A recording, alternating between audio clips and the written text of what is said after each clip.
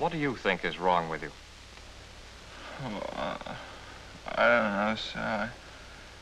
Everything seems kind of hopeless.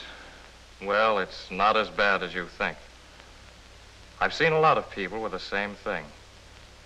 It'll take time, but you're going to be all right. This patient will need extended treatment at a hospital in the communication zone, or if necessary, in the zone of interior. Thus, he completes the chain of evacuation which started in the combat area.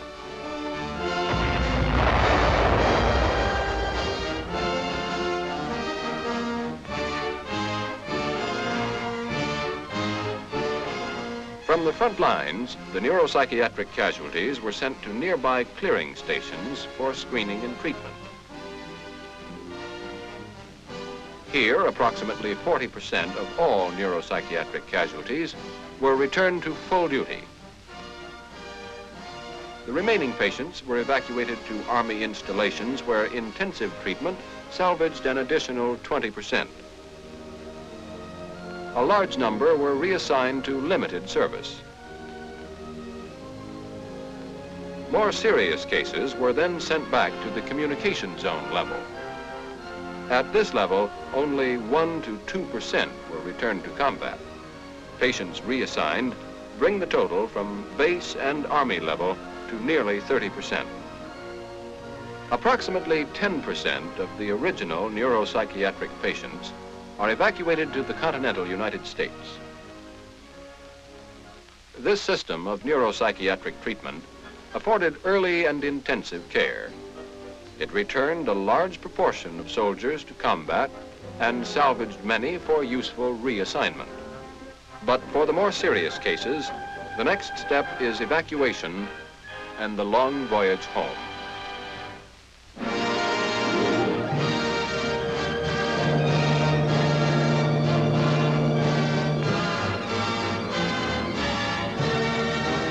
Back home, the patients that don't need hospital care are sent to convalescent hospitals, where both combat and non-combat cases lead a normal barracks life under the supervision of specially trained personnel.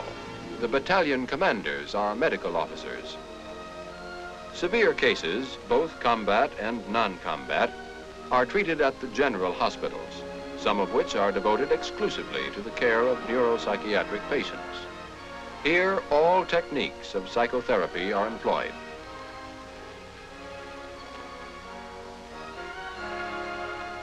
Individual psychotherapy, the personal contact between patient and psychiatrist, is the basic element of all treatment.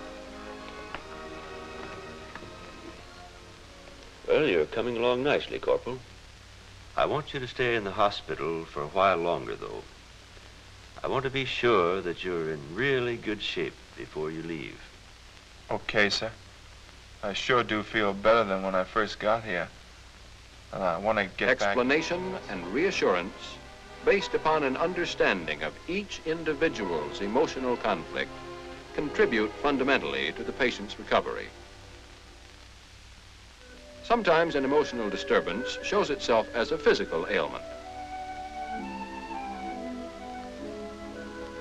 Here, an inner emotional distress has been converted into a form of paralysis.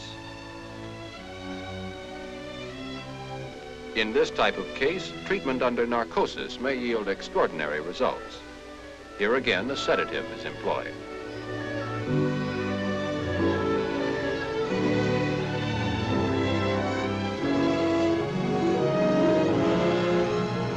Under the influence of the drug, the patient's mind becomes more open and receptive. While the patient is in this highly approachable state, the doctor employs the power of suggestion to pave the road toward recovery.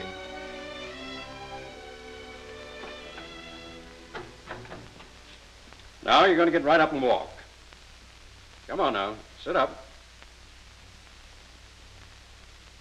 Now get off the bed.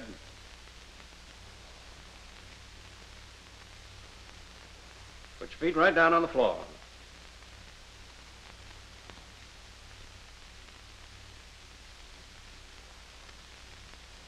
That's fine. All right, now stand up. Isn't that good? All right, now walk out there. Walk right over to the ward man all by yourself. Go ahead, you're doing fine. All right, now turn around and come back to me. Come on now.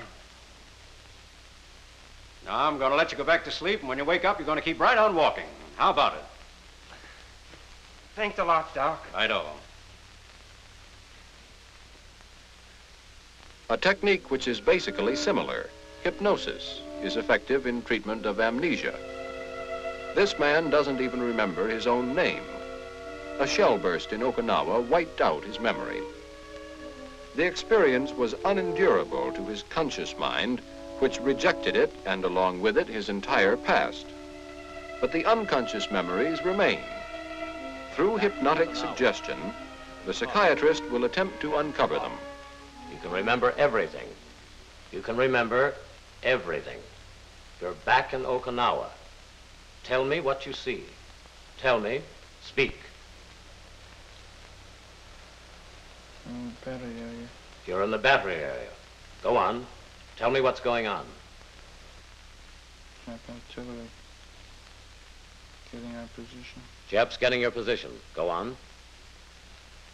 Oh, the boys got hurt. They're taking it away. Yes, yes. Go on. Running for my gun position. Yes, you can remember it now.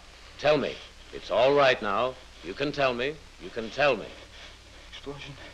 Yes, you remember an explosion now. Go on. Carrying me. Across the field. Across the field. Go on. Putting me on a stretcher. Yes, yes. All right. Go on. They're still throw. They're still throwing shells. Go on. You can see everything clearly now. I'm in a truck. Why are you fearful now?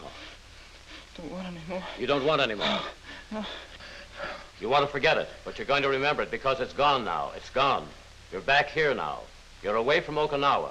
You have forgotten it, but you remember who you are now. Who are you?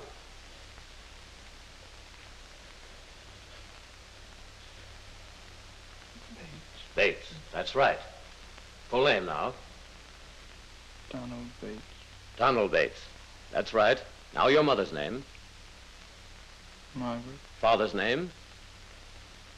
Thomas. That's fine. You know who they all are now. All right. You're coming back with us now. But this is going to stay with you. You're going to remember it all. You're going to remember about Okinawa. You're going to remember about the shells and the bombs out there. But they won't hurt you now. You're at ease and relaxed. No fear, no anxiety. When I wake you, you'll be comfortable and relaxed. No aches, no pains, but you'll remember everything I've told you. All that you've remembered.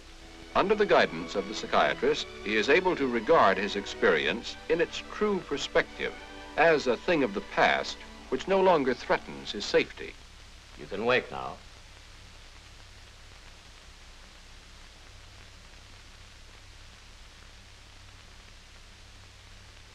Well, how are you? Pretty good. Now he can remember. At the General Hospital, all facilities are available for the most advanced treatment. Electroshock therapy is remarkably effective with certain acute psychoses.